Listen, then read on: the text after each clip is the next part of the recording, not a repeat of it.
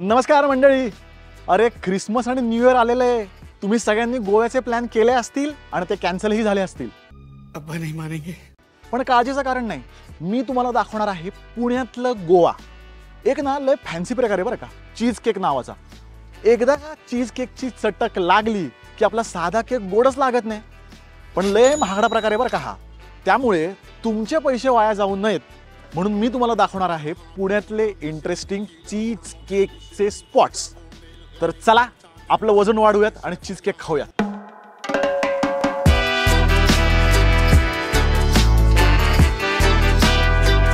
भाई इसको बोलते चीज केक आईचा.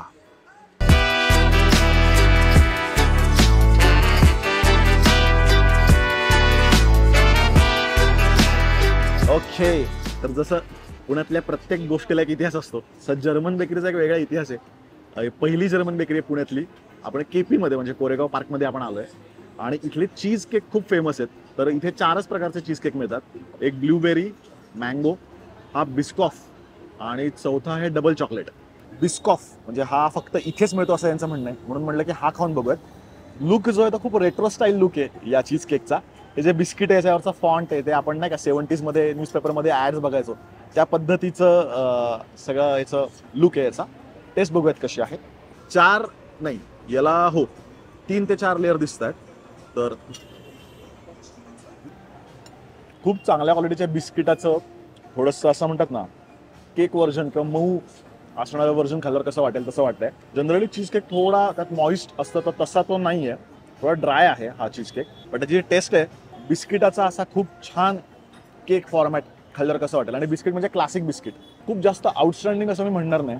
कारण आपल्याला समहाऊ तो जो विरघळतो ना चीज केक पहिला घास तोंडात टाक- ठेवल्या ठेवल्या तसं नाही होते पण ड्राय असल्यामुळे इतकासा तर छान म्हणतात ना तो असं मुलायम जे टेक्स्चर असतं त्याचं चीज केकचं तसं नाही आहे त्याचं. ओव्हरऑल टेस्टला चांगला आहे पण आउटस्टँडिंग आहे असं मी म्हणणार नाही. बिस्किटाची चव मस्त आहे. होममेड बिस्किट असतं ना कुकी पण ऑफकोर्स एक वेगळा चीज केक तुम्हाला जर टेस्ट करायचा असेल तर नक्कीच बिस्कॉफ प्रत्येक व्हिडिओमध्ये आपली एक रेटिंग सिस्टीम असते. तर या व्हिडिओमध्ये आपली रेटिंग सिस्टीम काय आहे? तर जनरली चीज केक खाल्ल्यावर आपण काय म्हणतो की तो चीज केक आपल्या तोंडात विरघळतो. तर मी जे चीज केक ट्राय करणार आहे ते किती टक्के माझ्या तोंडात विरघळलेत हे मी सांगणार आहे तुम्हाला.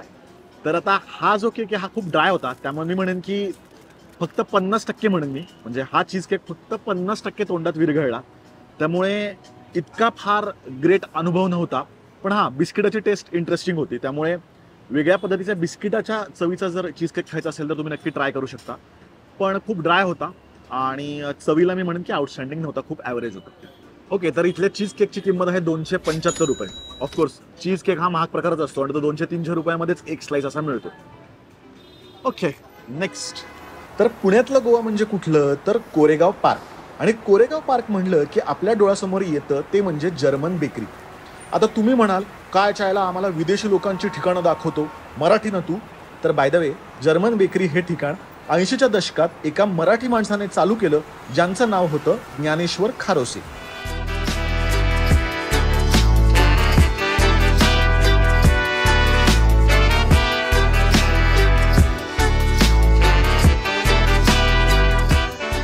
ओके तर आपण आलेलो आहोत दुसऱ्या स्पॉटला आणि या रेस्टॉरंटचं नाव आहे फ्रेंच विंडो ते काय? फॅन्सी नाव आहे. म्हणजे मी फ्रेंच विंडो या रेस्टॉरंटमध्ये एंटर झालो आणि मला असं वाटलं की नॉर्थ गोव्यातल्या कुठल्या तरी कूल कॅफेमध्ये मी एंटर करतोय. आपल्याला इथे आपले दोन सबस्क्रायबर्स भेटलेले आहेत म्हणजे मी एक्सपेक्टच केलं नव्हतं की फ्रेंच विंडो सारख्या ठिकाणी मला मला सबस्क्रायबर्स भेटतील. तर इथे आपण घेतलेला आहे ब्ल्यूबेरी चीज केक इथे चीज केकचे चार ऑप्शन्स होते. पण त्यातल्या दोन ऑप्शन्समध्ये वाईन होती आणि रम होती. त्यामुळे ते ऑप्शन्स माझ्यासाठी बाद झाले. कारण आपण पित नाही आयुष्यात. तर आपण बघूयात. सगळ्यात छान गोष्ट अशी की इथे वरती ब्लूबेरीचे तुकडे आणि असे मध्ये पण आहेत. आणि जेव्हा कुठल्याही पेस्ट्री केक चीज केकमध्ये असं मध्ये काहीतरी घातलेलं असतं ना आपल्याला भारी वाटतं. तसे लेअरमध्ये खायला मजा येते. तर आपण बघूयात. तर वा वा वा आयुष शपथ. हा म्हणजे प्रचंडच असा जेली टाईप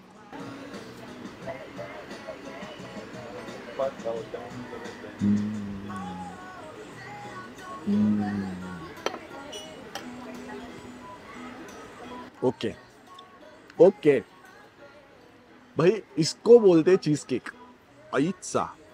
मी जेव्हा तोंडामध्ये एक घास तसा घेतला तर तो कधीही गिळला गेला मला कळलं पण नाही.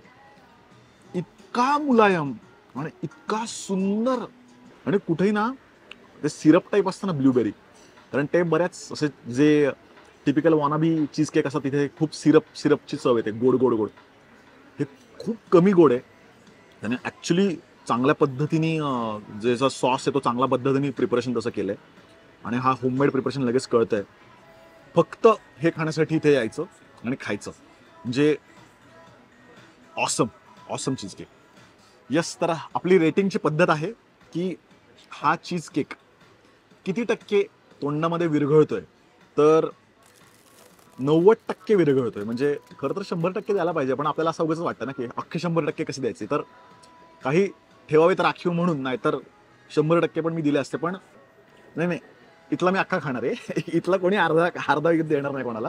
हा अख्खा मी खाणार आहे. बाय द वे इतका म्हणजे इतका ऑसम जो ब्लूबेरी केक होता त्याची किंमत फक्त दोनशे रुपये. तुम्ही म्हणाला दोनशे रुपये का कमी आहेत का वगैरे? चांगला चीज केक खूप महाग मिळतो. मला वाटलं होतं की तीनशे साडेतीनशे रुपयाचा असेल पण दोनशे रुपये हा इथलं ठिकाण हा माहोल आणि चीज केकच्या मनाने अफोर्डेबल आहे. प्लस इथल्या कॉफी पण साधारण एकशे चोवीस एकशे चाळीस रुपयाच्या रेंजमध्ये आहेत. जनरली तुम्ही सी सी डी किंवा जे हाय फंडू कॅफे असतात तिथे दोनशे अडीचशे रुपयाला आजकाल कॅपॅचिनो लाटे मिळते. पण त्या मनाने कॉफी स्वस्त आहे. त्यामुळे जर तुम्हाला गर्लफ्रेंडला किंवा बायकोला डेटवर घेऊन यायचं असेल तर ठिकाण मस्त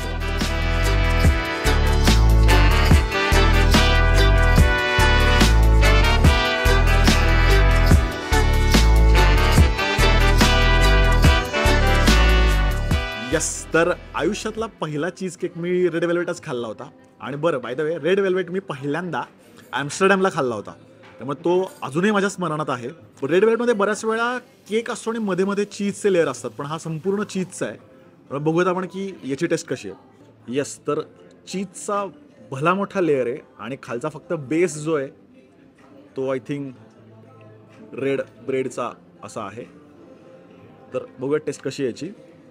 ओके फार ग्रेट नाही आहे कारण जनरली रेड वेल्वेटमध्ये थोडीशी आंबटसर चीजला चव असते.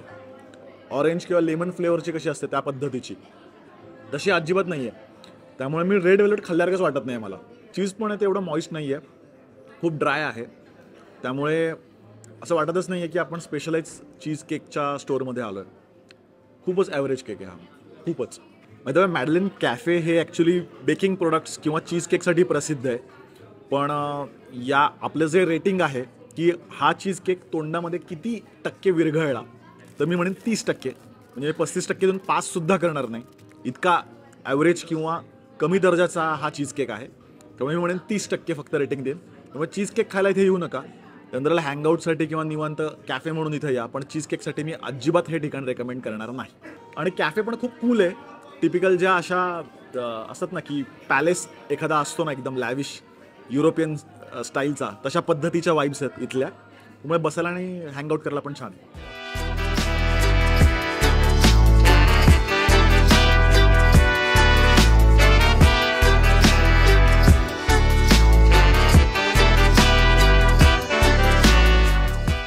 तर आत्ता आपण कोरेगाव पार्कवरनं थेट कोथरूडला आलोय. कर्वे पुतळ्याच्या जवळ ला पतिता मोहर नावाचा रेस्टॉरंट आहे.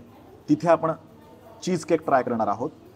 हे पण ठिकाण जे आहे ते कॉन्टिनेंटल आणि चीज केकसाठी प्रसिद्ध आहे आणि इथे आपण घेतलाय बास्क बर्न्ट चीज केक नाव एकदम फॅन्सी आहे. तर बघूयात आपण की हा चीज केक कसा आहे. टिपिकल असा क्लासिक चीज केक असतो ना तशा पद्धतीचा आहे. काही फार सुशोभन वगैरे केलेलं नाही आहे खाली बिस्किटांचा जनरली जो बेस असतो तो नाही आहे इथे. डायरेक्ट चीजच आहे पूर्णपणे.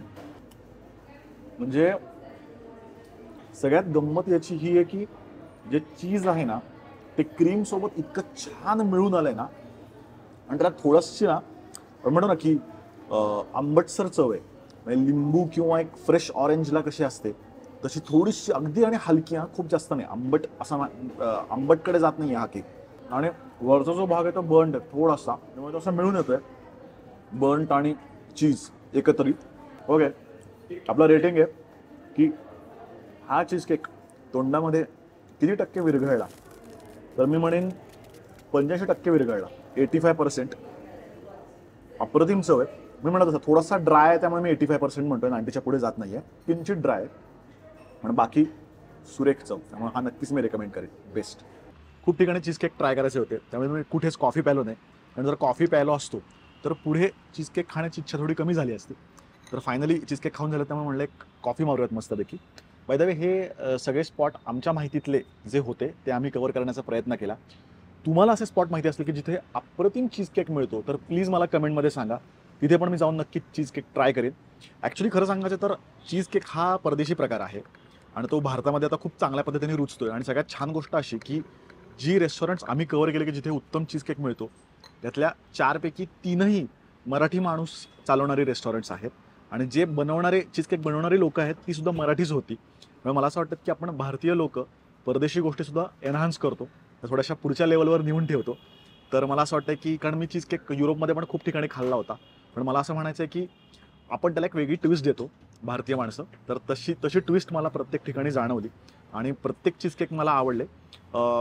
अगदीच अपवाद तर जर्मन बेकरी फारसा नाही आवडला.